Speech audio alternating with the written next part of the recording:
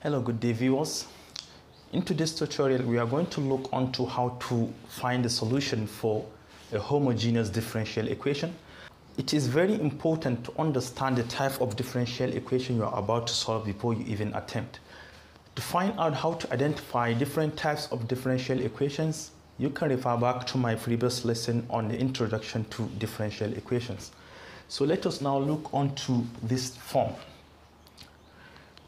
This is a homogeneous differential equation which you cannot separate the variables. So we are going to replace y with vx such that this v is equal to y over x. Now we are going to differentiate y with respect to x. dy over dx using product rule you keep the first term constant if you differentiate x, you're going to obtain 1. Multiply by v, we still have v. Plus the second term constant, you differentiate the first term, dv over dx. So now wherever you see dy over dx from your equation, you replace it with these terms and y with vx. So we have dy over dx here, which is equal to v plus x dv over dx. v plus x dv over dx. And to the right hand side, we have x squared plus, this is y squared, but y equal to vx. So we have v squared, x squared. Divided by, we have x multiplied by y. This is the same thing as saying x times vx, which is the same thing as vx squared. Each term now contain x squared, which you can divide each term by x squared to clear that. So we have v plus x dv over dx equals x squared divided by x squared is 1 plus v squared x squared divided by x squared is just v squared divided by this term divided by x squared is v. Still we have v here which we want to now take to the right hand side leaving x dv over dx. This is equal to 1 plus v squared over v minus v. But you can write this in rational form in such a way they will have a common denominator by multiplying top and the bottom by v so that we have v squared divided by v which is the same thing as v. x dv over dx is now equal to v squared minus v squared is 0 leaving only 1 and common denominator we have v. Now we want to separate the variables. A v is dividing here. Once it crosses over, it will multiply. So we have v. Already we have dv here, dv. We want to take x to the right hand side. It is multiplying here. To the right hand side, it will divide. So we have 1 over x. Again, we have dx. It is dividing here. Once it crosses over, it will multiply. Now we have separated the variables. What we are going to do left is to integrate both sides of 10-day solution. Integrate this side, integrate this side. If you integrate v, you're going to obtain v squared over 2. And to the right hand side, if you integrate 1 over x, you're going to obtain natural log of x plus the constant of integration c. But we are not done yet because v is equal to y over x. So we are going to replace this with y over x. So we have 1 over 2 outside.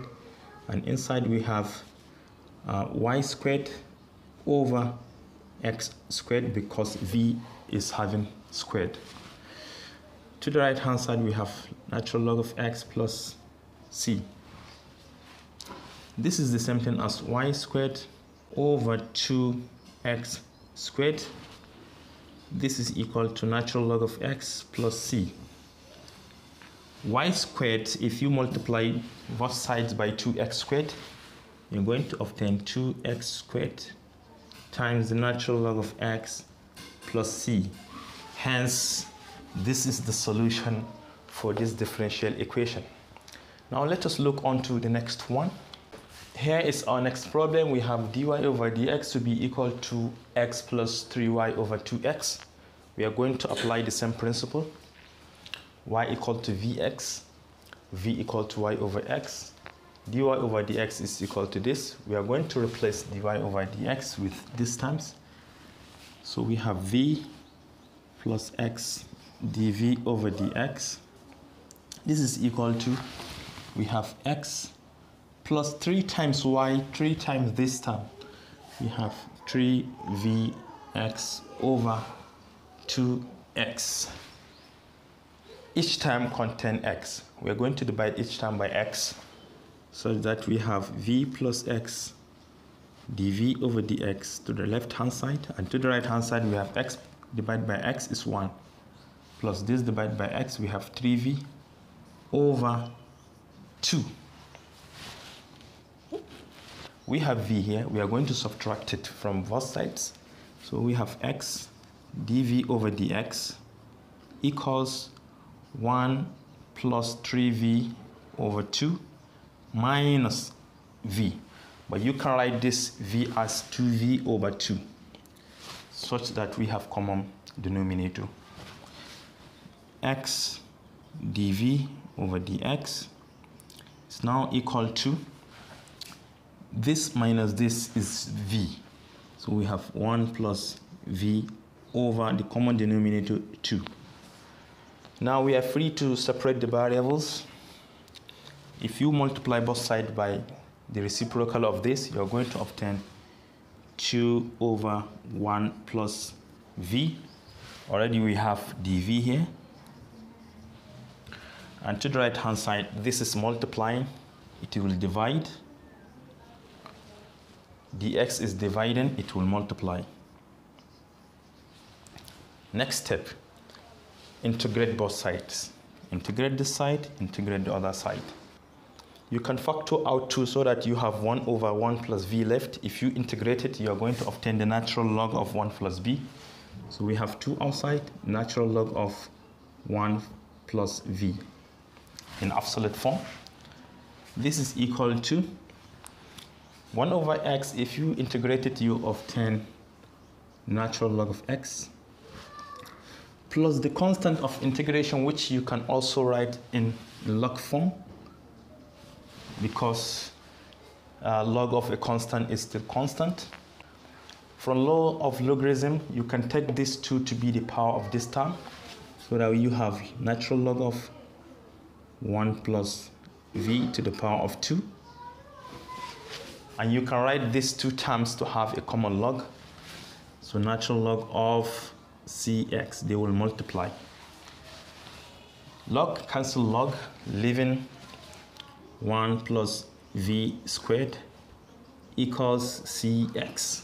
We are not done yet because v is equal to y over x. So we have 1 plus, you can break this down, simplify to write them in terms of y or x.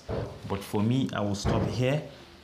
This is the solution for this differential equation. So this is all I have for you today. Thank you for watching. Do have a nice day.